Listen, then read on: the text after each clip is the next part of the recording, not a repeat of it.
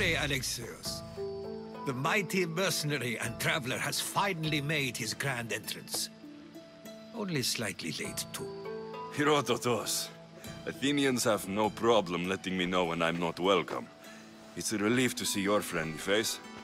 Don't let the company here tonight intimidate you. I won't. Pericles is no king.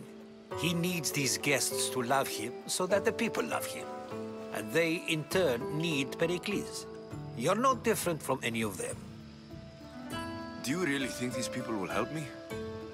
They will if you get them to trust you. And you've wisely dressed for the occasion. Appearing trustworthy is the most important part of being trusted, after all.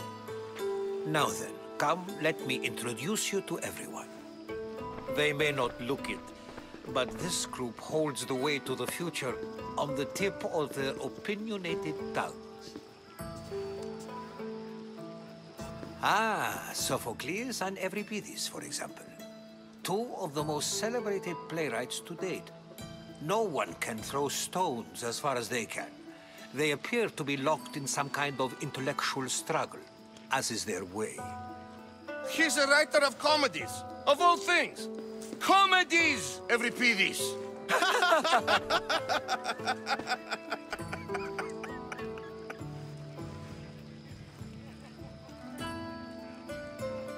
I've heard of Sophocles. In my line of work, it pays to know who the richest and most famous men are. Hermippos has also written his fair share of comedies. You should drink more. Lately, his attitudes have garnered him more notice than his works. However, the fellow beside him, Protagoras, is a sophist worthy of as much praise as the great Socrates himself. Inviting Socrates seems like a good way to ruin everyone's night. I'm surprised they would let him in the door. Oh, don't let Socrates get under your skin. At least he wore shoes for the occasion. And the poor thing gesticulating like an ape is Thrasymachus. If you listen closely, you'll notice he and Socrates are actually arguing the same points. But the wind from his wild gestures deafens him to critique. That isn't at all what I mean. Where is Pericles? Oh, he never attends his own parties.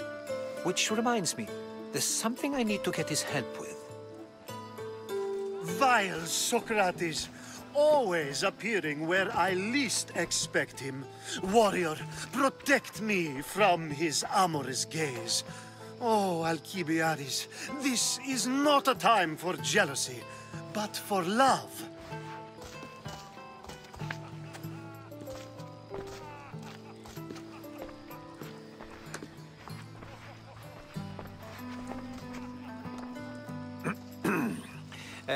Let's not use Alcibiades as an example. Be good and don't drink too much. So, tell me, what does a Misthios like you think of a party like this?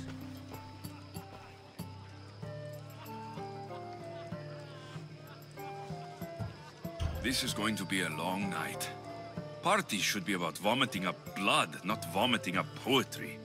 These people are so... clean. If these guests aren't to your own unique tastes, then just focus on why you came here in the first place. Thank you, Herodotus. Now, if you'll excuse me, Pericles is here somewhere, and I need to prepare him. If he's alone, I'll tell him what your sister said. Agreed. Pericles needs to know.